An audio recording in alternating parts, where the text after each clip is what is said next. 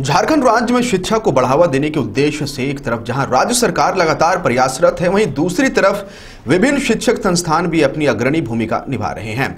इसमें एक नाम आता है टॉपर्स एकेडमी का, जो झारखंड के विभिन्न क्षेत्रों सहित दूसरे राज्यों के छात्र छात्राओं को सफल बनाने में अपना योगदान दे रही है।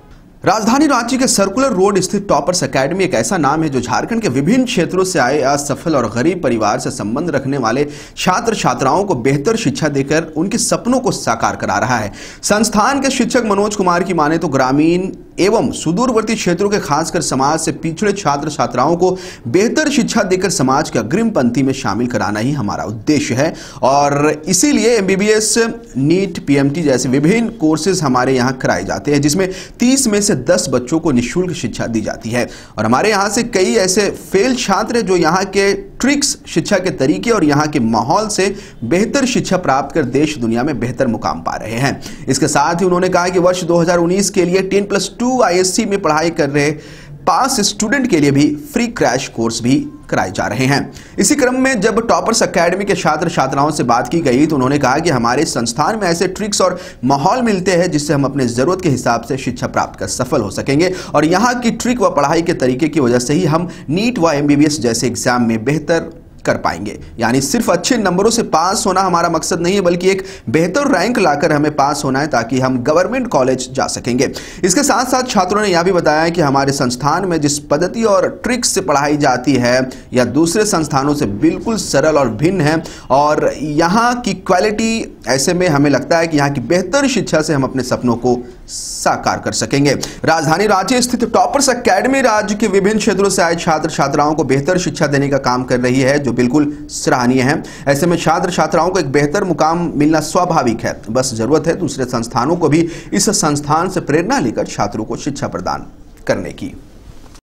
टॉपर सेक्रेटरी में अभी मैं टारगेट बैच में हूँ और यहाँ का पढ़ाई बहुत अच्छा सबसे अलग है।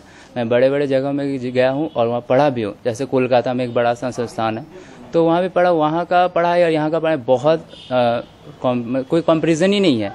जैसे यहाँ का पढ़ाई होता है मतलब यहाँ का पढ़ाई बहुत ईजी वे में है और वहाँ बहुत कॉम्प्लेक्स है।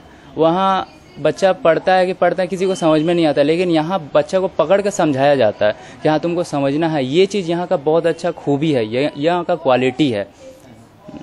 जो हमारे सर हैं, वो हमें ट्रिक्स टेक्निक्स देते हैं। कैसे हम तुरंत ही एक सेकंड में जवाब दे देते हैं किसी चीज़ का? जैसे फैमिली है बायो में, या फिर कोऑर्डिनेशन कंपाउंड है, ये सब जो है, उसके टेक्निक्स दिए जाते हैं, जिससे कि नीट हम लोग तुरंत मतलब जैसे वो तो टाइमिंग का मैटर है ना? अगर हम लोग टाइम ज़्यादा मैनेज करेंगे तो ज़्यादा से ज़्यादा क्वेश्चन हम लोग अटैम्प्ट कर पाएँगे। तो ज़्यादा से ज़्यादा क्वेश्चन अटैम्प्ट कर पाएँगे, तभी तो हम लोग नीट क्वालिफाई कर पाएँगे अच्छे रैंक से। ना ही अच्छे नंबर से, क्योंकि अच्छे नंबर से हमें गवर्नमेंट कॉलेज नहीं मिलेगा। हम हम लोग को ज़रूरत है कि गवर्नमेंट कॉलेज जाने का, क्योंकि बहुत सारे रीज़न हैं जिसकी वजह से बच्चे क्वालिफाई तो कर जाते हैं, लेकिन गवर्नमेंट कॉलेज उन्हें नहीं मिल पाता। तो वैसे बच्चे जिन तक की अच्छी स्कूली शिक्षा नहीं हो पाती है, उन्हें हम कैसे डॉक्टर बनाएँ, उन्हें मंजिल तक पहुंचाएँ? मतलब कि समाज के अग्रिम पंक्ति में समाज के पिछड़े हुए बच्चों को आगे लाना हमारा मकसद है। इसी के तहत हम लोग जो भी बैचेज चलाते हैं एमबीबीएस की तैयारी के लिए एडमिशन के लिए मतलब नीट पीएमटी की तैयारी के लिए, उनमें तीस बच्चे का एक बैच होता है, उनमें दस बच्चे बीपीएल परिवार के जो होते हैं फ्री होते हैं। उन्हें हमें कोई पैसा नहीं लेते हैं। और हमारे यहाँ अभी तक करीब तीस चालीस वैसे बच्चे डॉक्टर बने हैं एमबीबीएस की पढ़ाई कर रहे हैं, जो बारहवीं में या तो स्टेट बोर्ड या सीबीएसई बोर्ड में फेल हो गए थे। उन्हें लगता था कि मैं तो बारहवीं भी नहीं पास कर पाऊँगा। लेकिन हमारे यहाँ के माहौल और शिक्षकों द्वारा जो फ्रेंडली हम लोग ने पढ़ाई को कहानी कहानी में बना रखा है सारा चीज़। ट्रिक्स ऐसे दिए गए हैं कि उन्हें मैजिकल ट्रिक्स लगता है। आज हमारे यहाँ ऐसा हो रहा है कि चंडीगढ़, शिमला और दिल्ली के बच्चे रांची आ रहे हैं। अभी ही शिमला का कुछ बच्चे आए थे हमारे पास। दो तीन बच्चे उसमें से भी बारहवीं में फेल थे और यहाँ से उन्होंने प्रण किया कि मैं डॉक्टर बन के ही जाऊँगा।